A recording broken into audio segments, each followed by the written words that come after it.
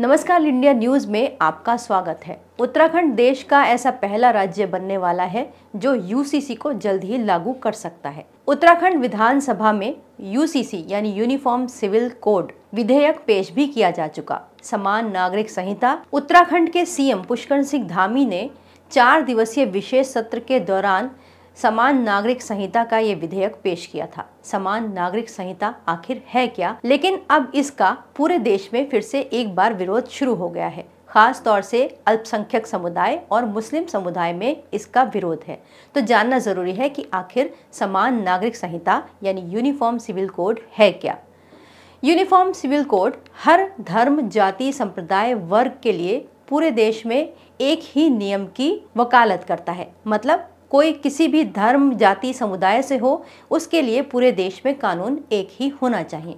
समान नागरिक संहिता के तहत जाति, धर्म और लिंग के ऊपर उठकर सभी नागरिकों के लिए एक समान विवाह, तलाक गुजारा भत्ता, संपत्ति और उत्तराधिकार के कानून लागू होते हैं। आज़ादी के बाद यूसीसी लागू करने वाला उत्तराखंड देश का पहला राज्य होगा।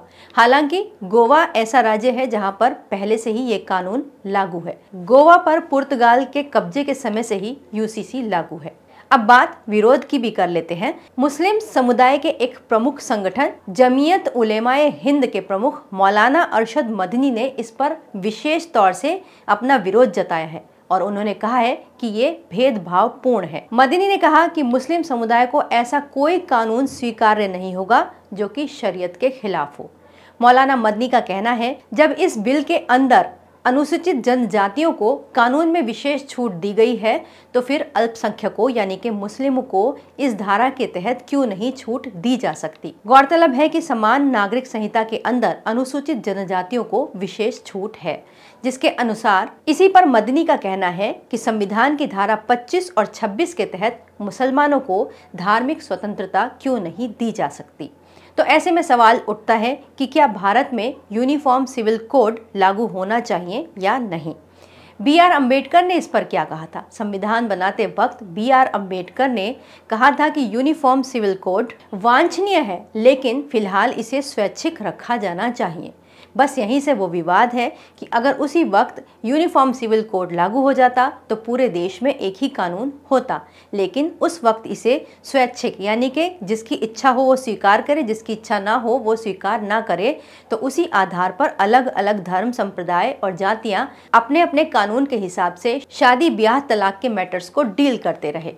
अब इसका नुकसान क्या है? विरोधियों का कहना है कि यूनिफॉर्म सिविल कोड का सबसे बड़ा नुकसान जनजातियों को उठाना पड़ेगा। जनजातियों के उनके अपने अलग रीति रिवाज होते हैं, संपत्ति के बारे में अलग से उनके नियम लागू होते हैं, जिसको कि वो फॉलो करते हैं। ठीक ऐसे ही मुस्लिम भी अपने अलग विधान का पालन करते हैं। यूसीसी का विरोध करने वालों का तर्क है कि किसी के धर्म का पालन करने के संवैधानिक अधिकार का उल्लंघन नहीं किया जा सकता और विभिन्न समुदायों द्वारा पालन किए जाने वाले धार्मिक रीति रिवाजों और नियमों की अवहेलना नहीं की जा सकती।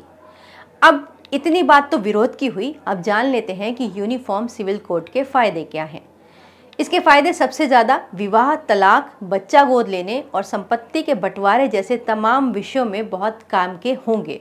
हर नागरिक को इसके तहत एक समान अधिकार मिलेगा और उनके लिए एक ही कानून होगा। तो कुल मिलाकर अभी समान नागरिक संहिता विवादों के घेरे में है, लेकिन एक ना एक दिन इसको लागू होना ही है।